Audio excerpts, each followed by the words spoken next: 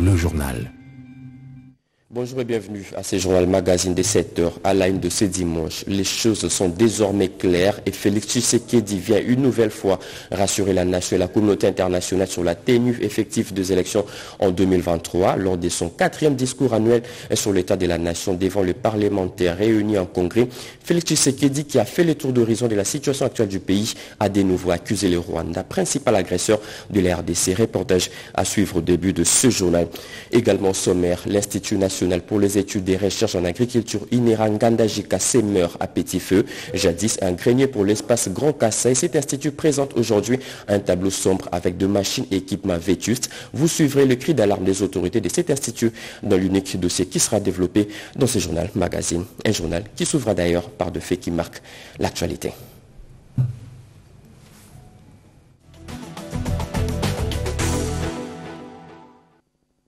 Mesdames et messieurs, bienvenue à vous si vous nous rejoignez à la radio-télévision nationale congolaise.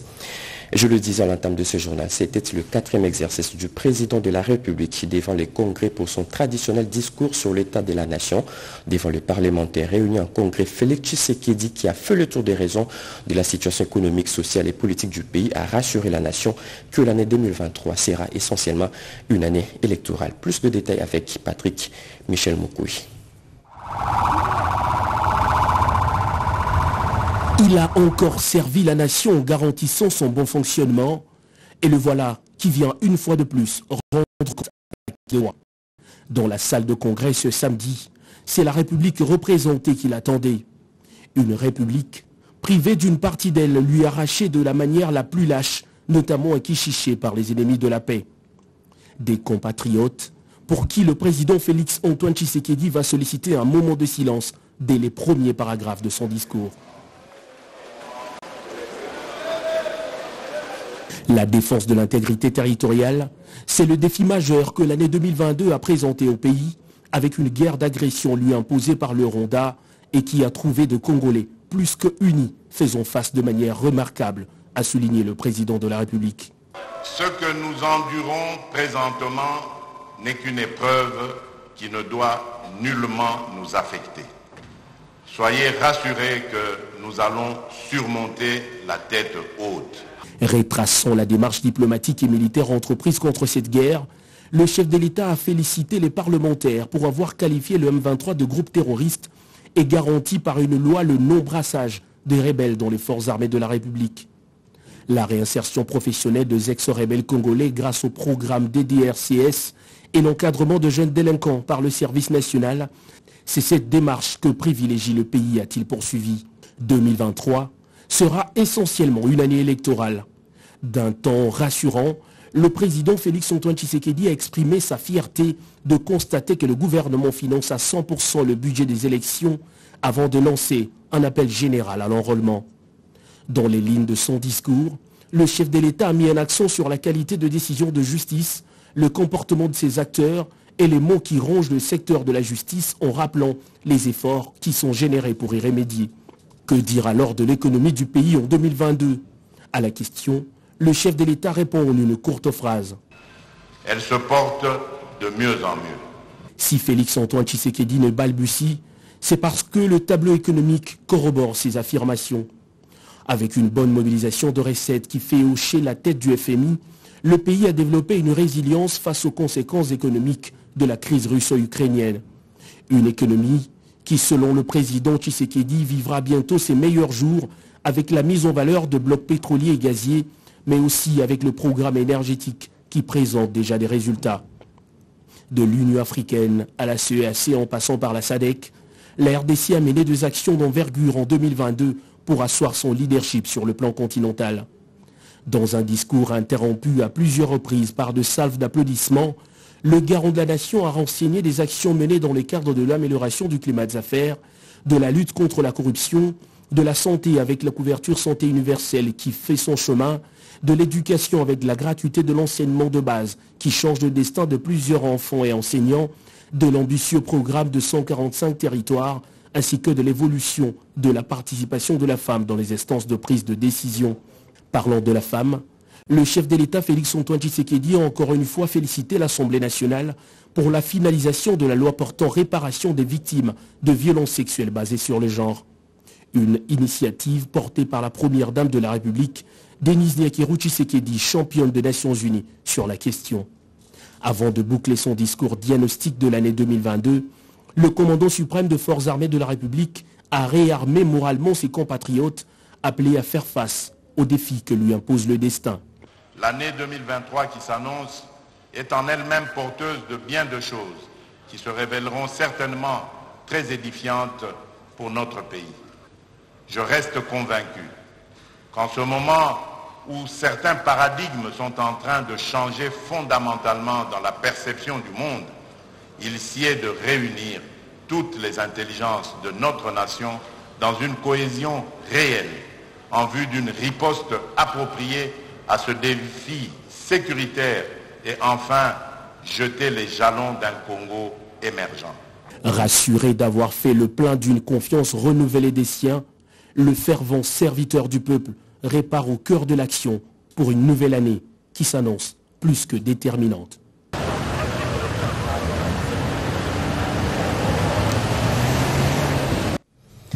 Et justement, ce grand oral du président de la République devant les députés et sénateurs pour faire le tour de tous les secteurs de la vie a été unanimement salué par le Congolais présent lors de cette cérémonie. On les écoute.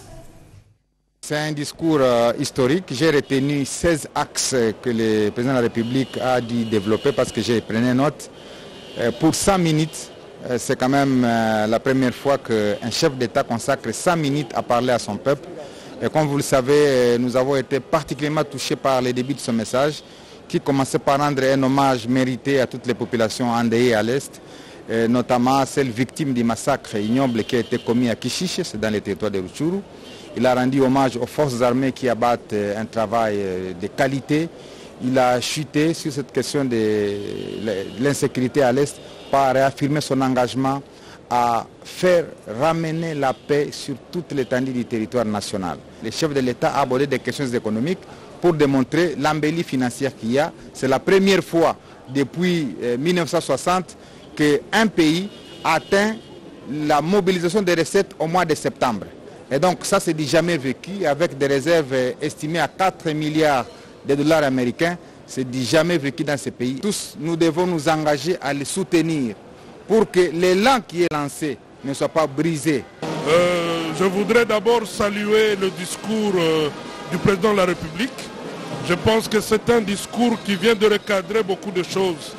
Et ça a permis aujourd'hui à tous les Congolais de comprendre qu'il y a beaucoup des avancées et des avancées très significatives dans plusieurs domaines de la vie de notre nation.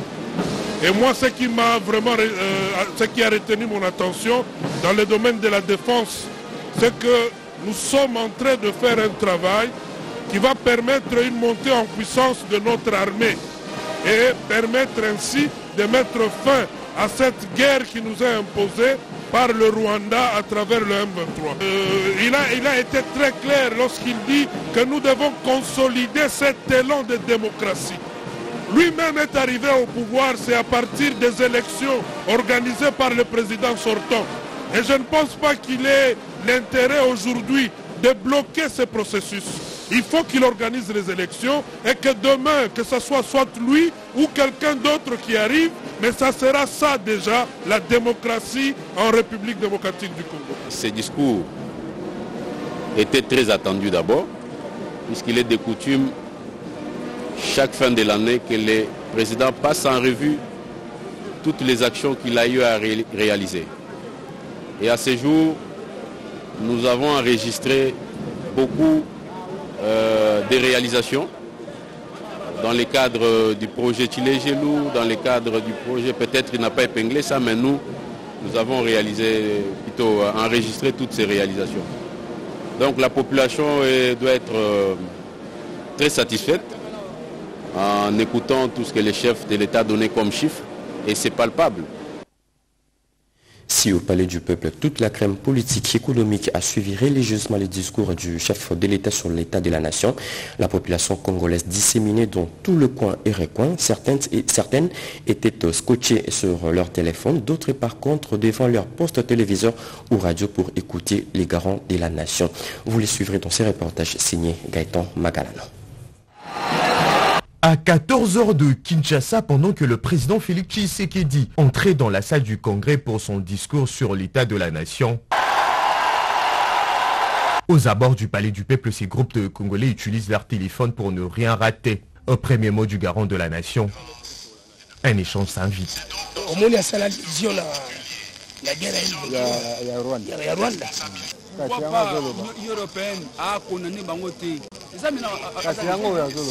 Je le savais déjà que le président de la République allait faire la, la lision à cette guerre passée, l'état de la nation.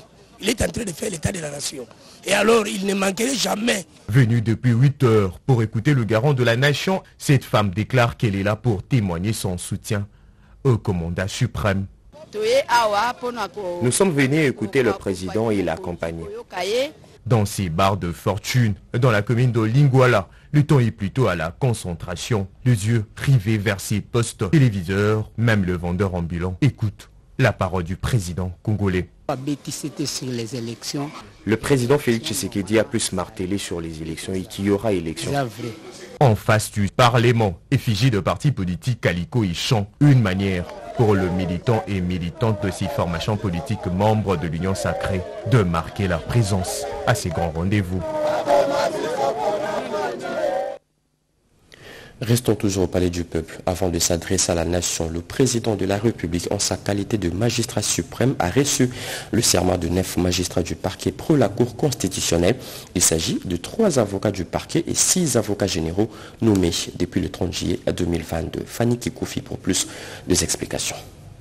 C'est pour respecter la Constitution de la République que le chef de l'État, Félix-Antoine Tshisekedi Chulombo, en sa qualité de magistrat suprême, a reçu le serment de neuf aux magistrats du parquet général près la Cour constitutionnelle nouvellement nommée par ordonnance présidentielle du 30 juillet 2022. Il s'agit de trois premiers avocats généraux et de six avocats généraux du parquet général près la Cour constitutionnelle. Ils ont juré de respecter la Constitution et les lois de la République. Je jure de respecter la Constitution et la loi de la République démocratique du Congo et de remplir loyalement et fidèlement, avec honneur et dignité, les fonctions qui nous sont confiées le magistrat suprême et représentant de la nation, a reçu leur serment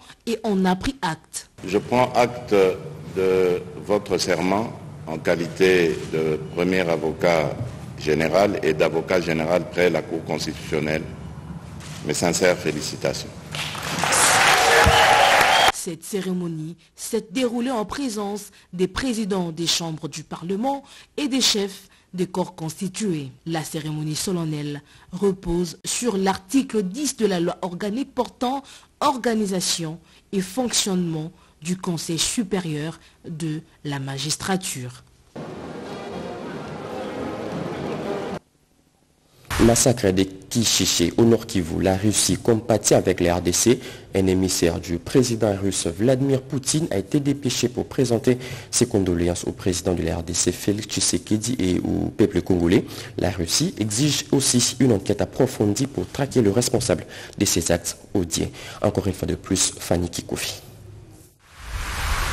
C'est une visite de réconfort et de soutien au président Félix Antoine Tshisekedi Chilombo et le peuple congolais. Je viens d'être reçu par euh, le chef de l'État et premièrement, je lui ai exprimé de la part euh, du président euh, de la Fédération de Russie, Vladimir Poutine, ses sincères condoléances suite au massacre de Kichiché, là où on a péri quelques centaines de Congolais.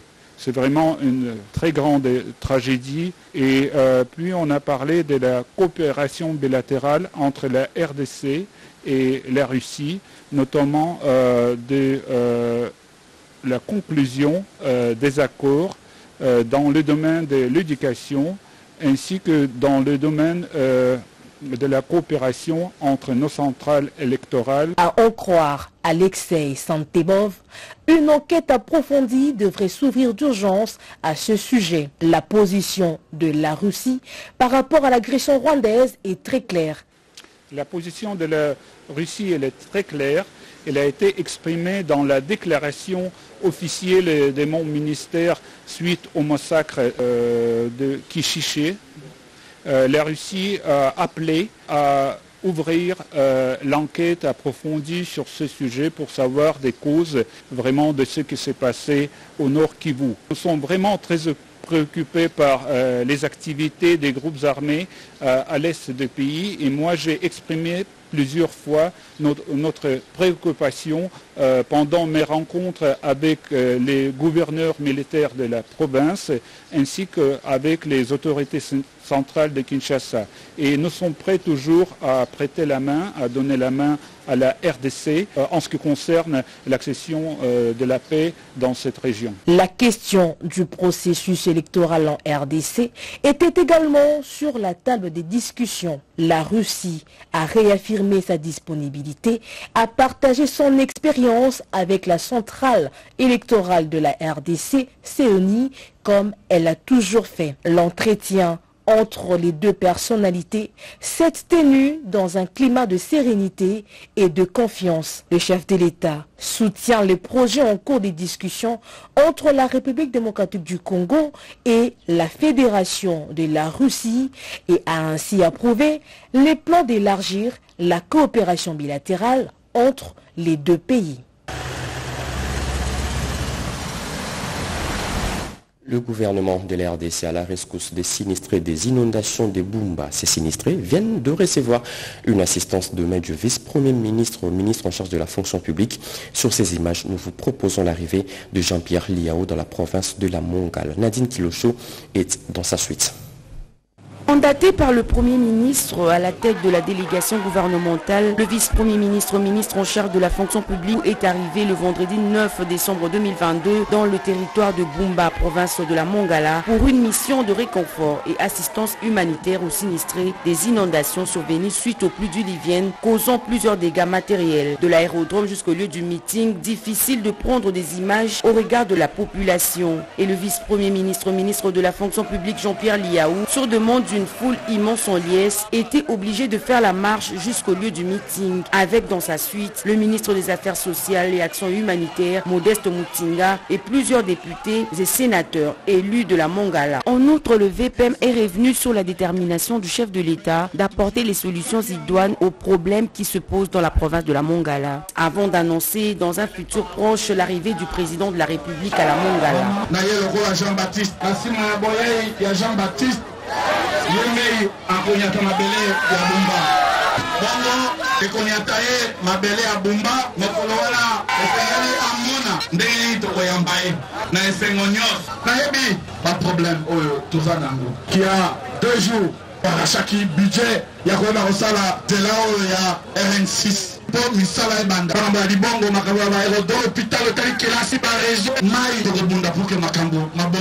L'appel à la mobilisation générale lancé par le président de la République a été suivi par la population de la Mongala et le VPM Jean-Pierre Liaou a fait appel aux jeunes d'intégrer le FRDC pour défendre l'intégrité territoriale de la nation congolaise.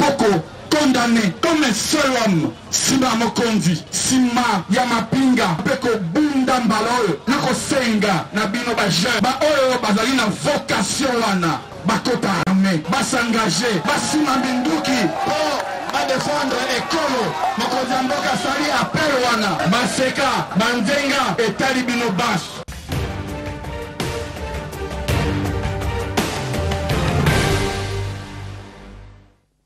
La moralisation de nouvelles recrues de l'armée à la base militaire de Kituna au Congo central par le commandant suprême des FARDC, Félix Antoine Tshisekedi Chilombo, a lancé la semaine du président de la République qui, quelques jours après à Kinshasa, a présidé la cérémonie d'ouverture de travaux de la 52e assemblée plénière du forum parlementaire de la SADEC. Les résumés de la semaine du président, c'est avec Pierre Kibambeso Moïse. Le Parlement de la République démocratique du Congo a abrité à partir de lundi 5 décembre 2022 au Palais du Peuple les travaux de la 52e Assemblée plénière du Forum parlementaire de la communauté de développement de l'Afrique australe. Invité d'honneur de ce forum, le chef de l'État, Félix Antoine Tshisekedi Chulombo, président des exercices de la SADEC, a rehaussé de sa présence la cérémonie d'ouverture de ces assises qui devait s'étendre durant sept jours. Placé sous le thème le rôle du Parlement dans le cadre du renforcement de cadre législatif pour la paix et la sécurité dans la région de la SADEC, la 52e assemblée plénière du forum est tombée à point nommé. Un RDC qui vit une situation sécuritaire et humanitaire très difficile causée par l'agression du Rwanda dans l'est du pays sous couvert du groupe terroriste M23. Les forums parlementaires de la SADEC, qui se veut une émanation des populations, devraient concourir et renforcer l'intégration et la coopération régionale, a indiqué le président de la République dans son discours d'ouverture des travaux. Pas de développement sans la paix. Le chef de l'État a stigmatisé les sécurités persistantes dans la partie est du territoire national. Ils ont répondu massivement à l'appel de mobilisation générale pour défendre la patrie sous les drapeaux, appel lancé par le président de la République, commandant suprême des forces armées de la RDC et de la police nationale, Félix Antoine Tshisekedi Chilombo. 10 200 recrues au sein des FRDC suivent leur brillante formation à la base militaire de Kitona dans la province du Congo central. Le chef de l'État a rendu une visite d'encouragement à ces jeunes qui se sont fait enrôler volontairement au sein des forces armées de la RDC. Je vous exhorte à vous donner complètement pour la nation congolaise, à ne jamais la trahir, car notre Congo est un beau et grand pays, leur a dit le commandant suprême dans ce mot de circonstance au cours de la cérémonie de leur présentation organisée à la base militaire de Kitona.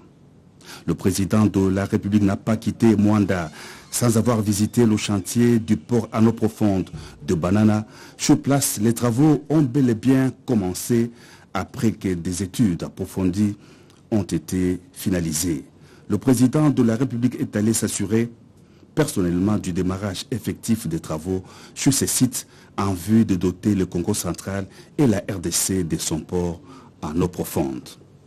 Au Mont Galima, sous la grande période présidentielle de la résidence officielle, le président de la République Félix Antoine Tshisekedi Chilombo a reçu les lettres de créance du nouvel ambassadeur extraordinaire et plénipotentiaire de la République du Ghana, Kwaku Domfe. Les diplomates ghanéens et détenteurs d'une maîtrise en administration des affaires de l'Institut of Management and Public Administration de l'Université de Ghana. Cérémonie d'hommage à Maman Angélique Malemba Mouteba, la belle-mère du pasteur Roland Dallot, à la tribune de la morgue de la clinique Ngaliema, sensible au malheur qui frappe les familles biologiques et spirituelles des sept hommes de Dieu, le chef de l'État et son épouse, la première dame Denise Nyakeru Tshisekedi, ont rendu les derniers hommages à l'illustre disparu. Le couple présidentiel a aussi réconforté les membres de la famille biologique de la défunte.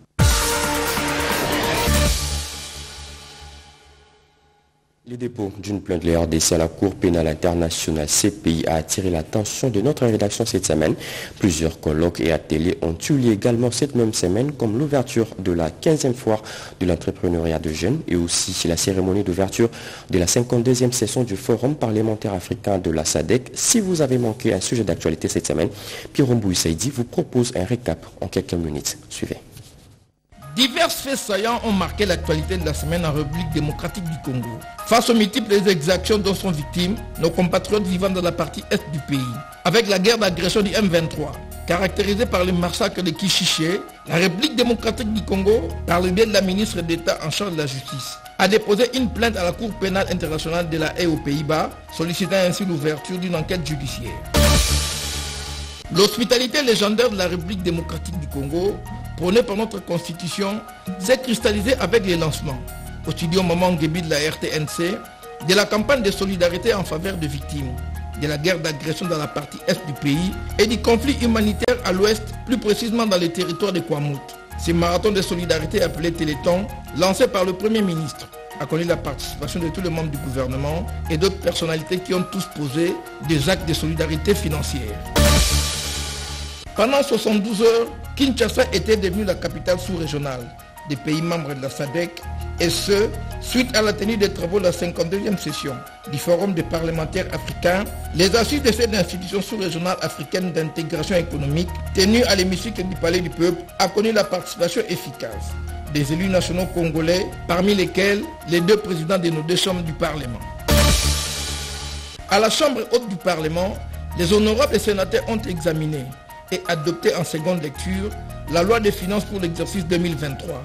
Ces projets de budget qui étaient reversés à la Commission économico-financière pour approfondissement a permis à ces élus des élus de passer au crible les divers domaines de la vie nationale où va s'exécuter les dix budgets. Doter la jeunesse congolaise active des aptitudes intellectuelles et connaissances avérées dans la pratique du business gagnant-gagnant. Tel est l'un des objectifs poursuivis par l'organisation de la foire de l'entrepreneuriat de la jeunesse congolaise, des assises lancées par le Premier ministre, chef du gouvernement. Les nouveaux recrues de nos forces armées en séjour de formation dans la base militaire de Kitona, en plein territoire de Mwando Congo central, ont été visités et réconfortés moralement par les ministres de la Défense nationale. L'une des retombées des travaux de la COP27, qui s'était déroulée dans la cité égyptienne de Sharm a inspiré la vice-première ministre en charge de l'environnement à procéder au lancement officiel du programme gouvernemental sur la gestion durable des forêts dans la vallée d'Angsele, un site touristique situé dans la périphérie est de la ville province Kinshasa. Vanter les potentialités attractives de la République démocratique du Congo dans plusieurs secteurs du pays, une matière transversale qui était au cœur de la tenue de la semaine congolaise du tourisme une devoir rationnel pour le gouvernement de la République d'influencer l'élargissement des nouveaux sites touristiques de la République démocratique du Congo au sein du patrimoine culturel de l'UNESCO. L'appropriation par certaines confessions religieuses du calendrier électoral tel que dicté par la Commission électorale nationale indépendante se concrétise davantage au jour le jour. La séance de travail des hommes de Dieu de l'Église du Christ au Congo avec les deuxièmes vice-présidents de la CENI l'atteste merveilleusement bien. Pendant que se tenaient à Kinshasa des assises et forums internationaux dans certaines filières de la santé, notamment l'ouverture du troisième congrès international des chirurgiens pédiatriques et la clôture de la table ronde les ophtalmologues de pays membres de la SADEC, l'on a assisté cette semaine à la fermeture des écoles de santé non viables en République démocratique du Congo. Deux journées mondiales ont été célébrées cette semaine en RDC. Celle des volontaires, avec les messages à la nation faits par le ministre d'État en charge du plan, et celle de la lutte contre la corruption, avec comme thème dénoncer la corruption et défendre les valeurs démocratiques, avec le message de la ministre d'État, ministre de la Justice lancé à la nation. Enfin, pour le repos des âmes de nos compatriotes tués à Kishishi, une messe d'action de grâce a été dite cette semaine, célébration eucharistique qui a connu la participation d'un panel d'autorités politico-administratives et la société civile congolaise, dont le ministre de Communication et Médias.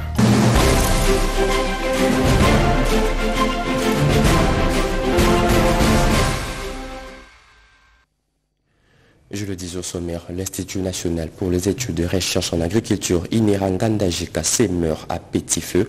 Jadis un grenier pour l'espace Grand Kassai, cet institut présente aujourd'hui un tableau sombre avec de machines et équipements vétustes. Suivez le cri d'alarme des autorités de cet institut dans cet unique dossier de ces journaux.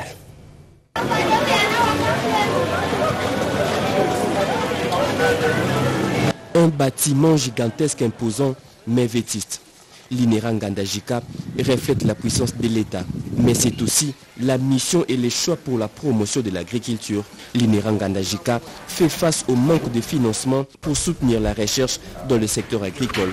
Des dépôts et des plantations, mais aussi des semences. Ces laboratoires attendent être boostés pour rendre service. Depuis 2020, et nous faisons les tests de génération de ces semences conservées au congélateur chaque quinzaine du mois nous voyons que la courbe est vraiment ascendante. Les semences conservées au foie encore très bien leur pouvoir germinatif. Ça, c'est la première activité que nous faisons ici. En dehors de ça, ce laboratoire s'occupe aussi de l'étude du sol. Nous avons les matériels pour étudier la composition granulométrique du sol, étudier le pH du sol. Ça, c'est fait à ce niveau. Parce qu'on ne peut pas orienter l'agriculture sans connaître le pH du sol sans connaître la nature et la composition du sol à ce niveau. En dehors de ça, en partenariat avec l'ULIPA, nous avons encore une branche de des chenilles légionnaires. actuellement, vous connaissez partout au monde, sont les chenilles légionnaires qui baissent sérieusement le rendement du maïs. Donc ici, on capture les, chenilles légionnaires, on les nourrit avec les feuilles du maïs, on attend la métamorphose pour voir quels sont les types de papillons qui sont responsables de ces chenilles qui sont en train de déranger euh, le, rendement. C'est encore un travail que nous faisons ici. Nous avons le matériel high-tech qui nous permet, après le croisement, de, de, de, sceller, de savoir si réellement la variété croisée obtenue est riche en vitamine A. Sans moyens conséquents, l'INERA fonctionne avec un laboratoire qui lui permet d'entretenir des relations avec d'autres centres.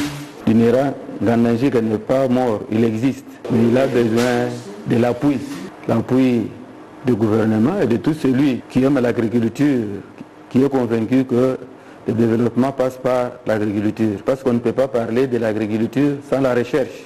Nous avons le laboratoire, nous avons des champs, nous avons des semences comme vous avez vu là-bas, mais avec des moyens de bord. Si nous sommes bien appuyés, avec tout ce qu'il faut, en tout cas, l'INERANG va rendre de grands services à la nation. Quand on parle de l'agriculture pour le Grand Kassai, c'est Nganagique d'abord. Pour moi, je crois que si la volonté politique s'est tournée vers Nganagique, les choses vont changer. Nous sommes en train d'attendre le parc agro-industriel de Prodan dont nous avons entendu parler que l'argent est déjà débloqué. S'il venait aussi, hein, choses vont changer certainement. Dans un passé récent, Ngandajika a toujours servi de grenier pour le Kassai. Un appui budgétaire à l'agriculture ne peut nullement échapper aux INERA implantés en République démocratique du Congo. Le bac Zongo vient de quitter depuis hier la ville de Kinshasa pour la province du Sud-Ubangi. D'une capacité de 50 tonnes, cet engin servira de traversée sur la rivière Ubangi. Construit par l'office de route, le directeur général de cet établissement public, Janoki Kangala, a assisté au départ de ces, bacs. Joël Makila pour plus d'explications. Le bac Zongo, construit par la société orientale Red and Construction et l'office de route, va désormais servir à la traversée sur la rivière Ubongi, reliant ainsi deux rives, celle de la République démocratique du Congo et celle de la République centrafricaine. La rivière Ubongi relie les deux rives sur la route nationale numéro 6, tronçon partant de la RDC de Gemena en passant par Zongo pour atteindre Bangui en République centrafricaine. Ce bac Zongo a une capacité de 50 tonnes. Il mesure 30 mètres de longueur. Il est équipé de deux moteurs diesel marins de 185 chevaux pouvant contenir jusqu'à 2100 tonnes avec ses 2100 tours par minute. Avant le départ de cet engin pour Gemena, ici à Kinshasa, le directeur général de l'Office des routes, Janoki Kangalangoy, l'a inspecté en commençant par la cabine du capitaine, mais aussi la salle des machines en vue de se rassurer de sa performance et de son fonctionnement. Ces bacs relèvent de la promesse que son Excellence Félix Antoine Tshisekedi Chilombo, président de la République, faite euh, à la population de ces coins de la République qui avaient des problèmes de mobilité dans cette région de la République, 40 ans après que cette population ait vu un chef de l'État lui rendre visite. Suivant la vision du chef de l'État, le directeur général de l'Office de route ne ménage aucun effort pour offrir à la population congolaise des infrastructures routières viables. C'était hier la journée internationale du droit de l'homme, occasion pour plusieurs organisations de rappeler sur le respect des droits humains. À l'université de Kinshasa, par exemple, le département de droit de l'homme de la faculté de droit a sensibilisé les étudiants, chercheurs, le corps académique et, scientifique à la protection et à la promotion du droit de l'homme. Marie-Chimène Kamoka Junior Bonyoma était sur place. Unité, liberté et égalité pour tous c'est le thème retenu cette année pour célébrer le 74e anniversaire de la Déclaration universelle des droits de l'homme à la faculté des droits de l'Université de Kinshasa. Le doyen de la faculté des droits, le professeur Essambo Kangaché, a exhorté les étudiants et le personnel académique à beaucoup plus de responsabilités en vue de promouvoir et de protéger les droits de l'homme. C'était avant la lecture du message du secrétaire général de l'ONU, lu par le délégué facultaire Justice Matonsi. Le professeur Dieudonné Kalindie Biangira, chef des départements de droits de l'homme, a planché son intervention sur la dignité, liberté et justice pour tous dans l'actuel conflit armé dans l'est de la RDC. Il a démontré que le M23 est un groupe terroriste qui viole les droits fondamentaux des paisibles citoyens. L'RDC aujourd'hui est confronté à un conflit armé où le Rwanda nous a agressés au mépris de tous les textes internationaux. C'est un moment de réflexion. Comment on peut mettre un terme à des conflits récurrents où les États voisins violent le droit des Congolais et nous espérons que les résultats de cette réflexion seront toujours à qui des droits. Selon le recteur honoraire de l'Université de Goma, le professeur Segui Obé, les induits et les déduits du principe d'égalité se basent sur la Déclaration universelle des droits de l'homme et autres instruments juridiques. Les échanges et débats ainsi que les commentaires libres des participants ont sanctionné la fin de cette matinée scientifique. C'est fini pour ce journal magazine des 7 heures. Mesdames et messieurs, merci de nous avoir suivis. L'actualité continue sur nos antennes. Retrouvez à 13h Bobetz et Yenga Lissamba. Bonne journée dominicale à toutes et à tous. Au revoir.